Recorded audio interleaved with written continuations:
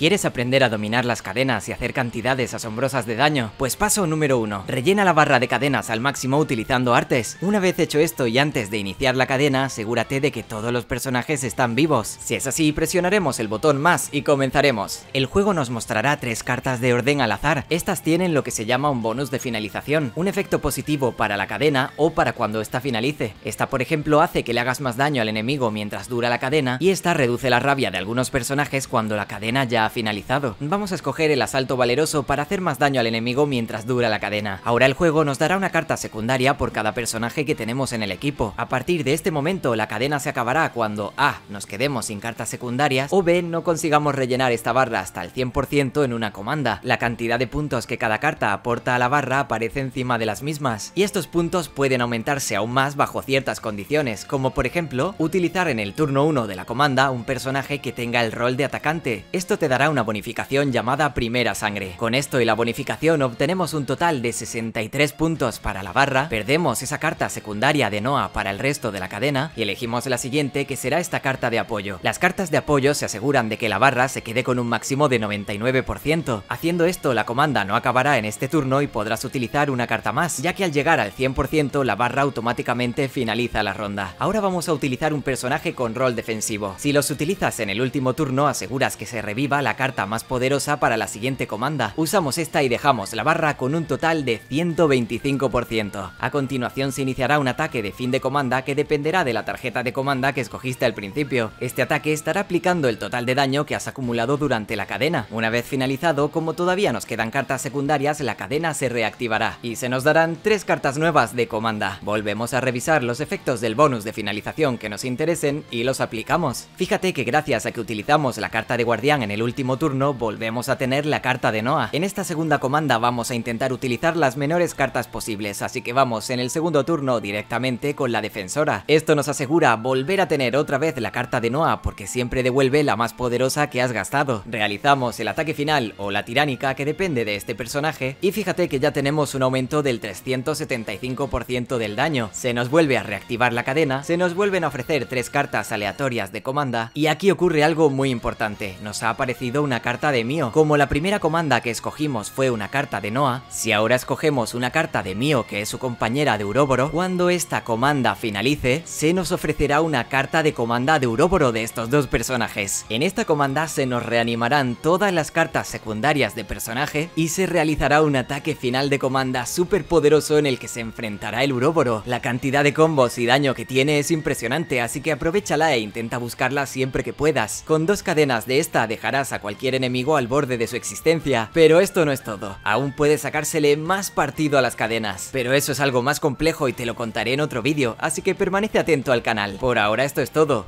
un saludo y hasta pronto.